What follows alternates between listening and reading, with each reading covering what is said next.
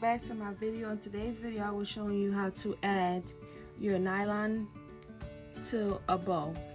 Now if you already have your bow like this and you're trying to add this all you have to do is you take take it and you wrap around the um, tail that you left. And then this is my right side and this is my left side. And then you're just going to take it and go through the um the centerpiece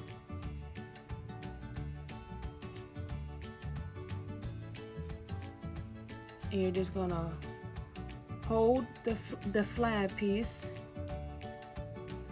and just pull the nylon. And you just pull it through. And then it's gonna go around until you get down here so it doesn't come off. And this is how you add it now if you don't if you want to do it without this way if you have your bow like this and you want to add it you just go ahead and put your nylon on and then you just wrap your bow like you normally would around. And then you just do it how you um normally would tie it off make sure the nylon piece is at the bottom of it of how you want your bow to be.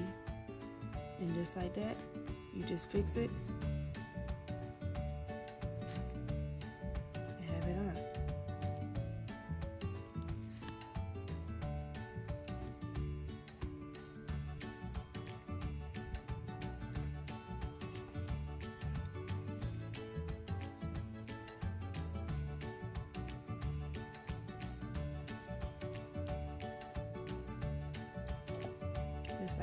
Thank you all for watching. Please like, comment, and subscribe to help me reach my goal to a thousand subscribers. I'm almost at 500 and it may be a surprise giveaway with um, reaching 500. But once I reach my goal to a thousand subscribers, I will start sending some of the stuff that I make to um, one of my subscribers. So please help me reach my goal. Thank you all and you have a good day. Bye.